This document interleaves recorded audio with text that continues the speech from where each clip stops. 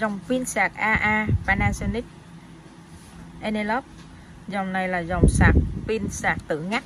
Với cái dòng này là sạc trắng và pin trắng, thì pin trắng này nó sẽ có dung lượng là 1900 mAh. Đây là thông tin phía sau cục sạc. Điện áp Bravo. Còn ở phía sau này nó sẽ có hiển thị cho mình là với dung lượng 1900 mAh thì chúng ta sẽ sạc một tiếng rưỡi đến 3 tiếng. Và tiếp theo là các dung lượng này. Chúng ta cũng có thể nhìn thời gian được ở bên đây thì chúng ta sẽ nhìn thấy màu đỏ thì là đèn lên màu đỏ thì là 0 đến 20 phần trăm. Còn đèn lên màu vàng á, thì là 20 đến 80 phần trăm và màu xanh lá á, thì là 80 đến 100 phần trăm và đây là sạc tự ngắt tự ngắt. Cho nên mọi người có thể yên tâm khi mà xài cái loại sạc này.